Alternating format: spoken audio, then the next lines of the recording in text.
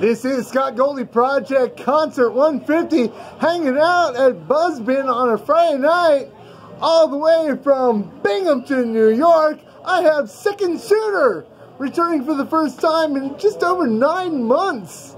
Been too long. And for me, that was 105 shows ago. That's amazing, honestly. It's Unreal. crazy. That's It is crazy. Good for you. I wish I could go to as many shows as you go to. So, Second Suitor is now sporting a full band. Yes, Last time are. you were solo, but I know. this time you brought in a whole band, and we were like, "Holy shit! They have a whole band with them." I know, I feel bad because I think everyone thought it was going to be an acoustic show and we showed up with the band, so. No, Not that's it, okay.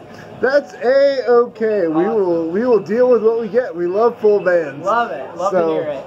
So, what else does Second Suitor have going on right now? Obviously, you're out on tour, Yes. Um, and you have one more show left tomorrow night in Wheeling. Yes, Wheeling, West Virginia, and then we get to go home for Easter. Um, after Easter, let's see. Second Suitor, we're playing. Um, we're playing a cool show in Syracuse, New York, at a venue called the Lost Horizon. It's part of a local radio station in Syracuse called 95X. They do a locals only uh, playlist on Sunday nights, and they have asked us to play that show, and we are so stoked to play a venue that I grew up going to see my favorite bands at. So we can't wait for that one.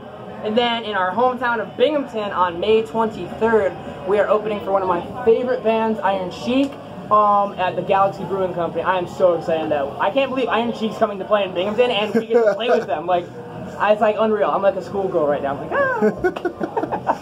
And uh, do you have any new music out that you're out supporting right now? Um, no new music as of right now, but we have been throwing in, uh, in a couple new songs into the set list. Okay. We might be doing something kind of cool in the upcoming months where, I don't know, Tom Jolu has this cassette thing, and we might steal that idea and kind of do like a deluxe edition of Safe Space where we add like two live songs on it or something. I don't know yet. We're figuring it out. Who knows? That'd be awesome. Yeah, I hope we get to do it. They're really cool. I, I've never been like a huge like cassette guy, but like. See, I I so grew cool. up in the age of cassettes, so I used to make mixtapes and stuff back when, like with my dad's old boombox, but like, Yeah. And then it evolved into mix CDs and then playlists, and now like you can't, like I feel like I could definitely like make someone a banging like mixtape, but like it's it's after the time for it. Like I can't do that anymore, so it sucks. all right. Well, thank you for coming back to Canton, and Absolutely. come back again sometime. It's We fun will. stuff, man. We'll, we'll let you know that it's the full band next time. Okay.